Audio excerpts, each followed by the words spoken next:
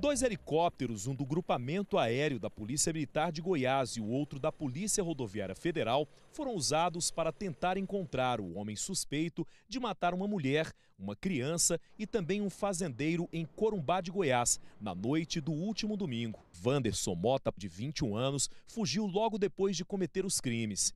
Ele matou a esposa, que também tinha 21 anos, estava grávida, e a enteada, de apenas um ano e dez meses, com golpes de faca. Logo depois, Wanderson invadiu uma fazenda vizinha, roubou um revólver e matou um fazendeiro de 73 anos com um tiro na cabeça. Ele ainda tirou contra a esposa do fazendeiro. A mulher, de 45 anos, ficou ferida no ombro e só sobreviveu porque se fingiu de morta e conseguiu escapar. Ela foi encaminhada para um hospital em Anápolis e o estado dela é considerado estável. O criminoso roubou o carro da família e fugiu para Lexânia, onde abandonou a caminhonete. Cerca de 70 policiais passaram a tarde fazendo as buscas na região rural de Abadiânia, onde a polícia acredita que o assassino esteja escondido no meio da mata.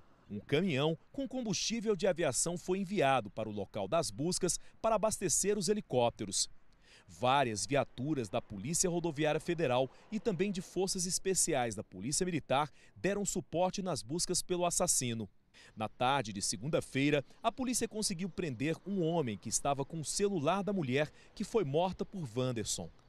A polícia diz que o suspeito não conhece a região e, por isso, não deve ter facilidades para continuar fugindo do cerco policial.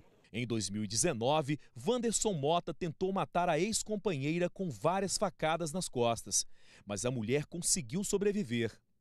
Wanderson chegou a ser preso, mas foi solto pela justiça em março desse ano, para aguardar o julgamento em liberdade.